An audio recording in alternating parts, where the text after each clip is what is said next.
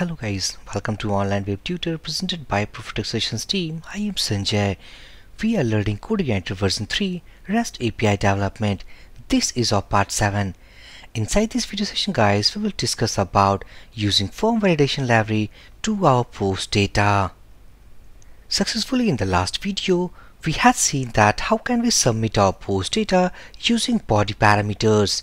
Successfully we have collected and saved to our database table. Now inside this video, we are not going to submit our parameters by this body section.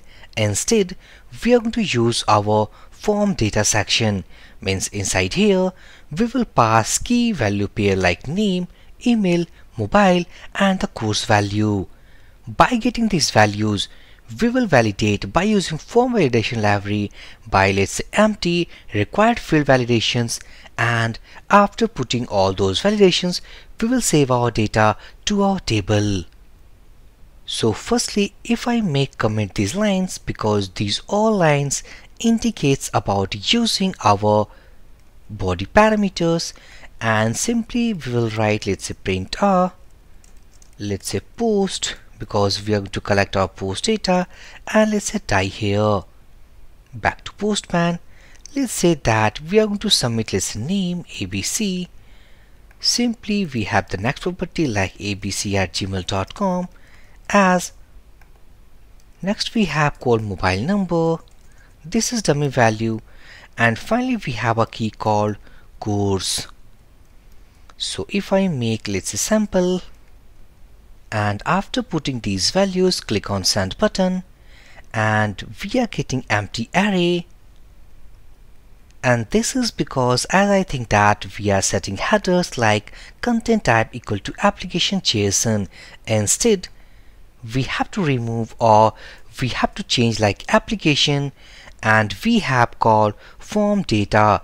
So if we search here let's say form hyphen data. So I think that we have to remove here because this is not a content type or this is not a property that we have to set. So if we click on send button now as we can see that we have called name email mobile and the course value. So remember that when we pass our form data then content types should be removed. So if I back to editor so either you we can use like post data or let's say this input and post method. So save all these changes, back to postman, click on send button. Now we are getting the same result. So this is the way that we write in CodeIgniter. Now let's say that we are going to get all the keys value. So here let's name equal to let's say this input post and as we know that we are getting our array parameters in the format of an array as we can see here. So if we want to get the name key so simply we need to write like name. So copy and paste.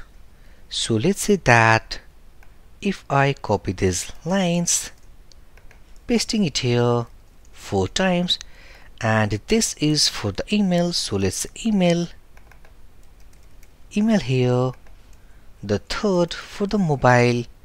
So let's say mobile. And finally let's say for the name sorry for the course. So this is for the course.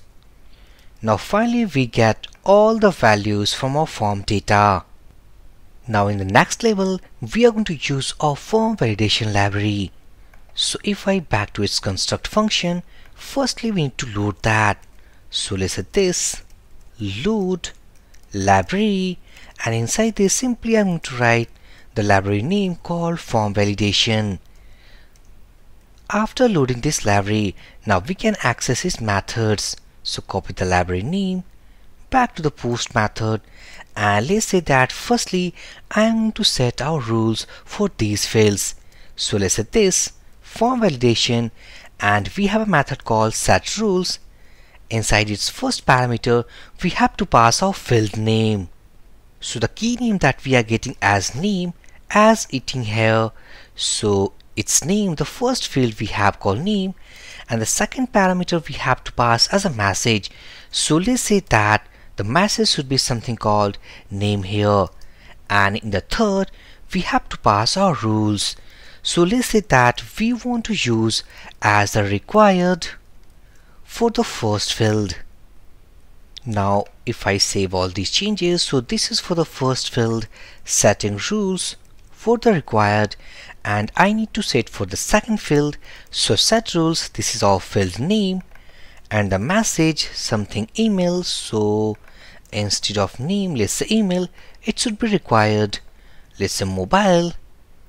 Again let's say that the message should be something for the mobile required and if I back copy pasting it here now this time it should be for the course. Let's say course and it is required field now again if I make as email for the second rule something called valid underscore email. Now if I save all these rules next we have to check that let's say this form validation and we have a run method. It will check that after submitting our form data we have any error or not. So we are comparing here the here with the false value. Otherwise we have else block. Now inside this else block we are going to wrap this all data.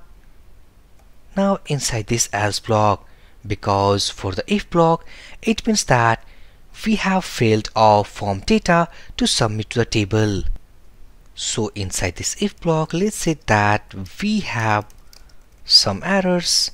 So accordingly we have to make our response. So let's this response. In the first parameter we have to make an array. And the second we have to make our http request type. So sorry http status code. So let's say that internal server error or simply let's say not found so copy this message back to the top. And simply we can write inside the second parameter and the first parameter.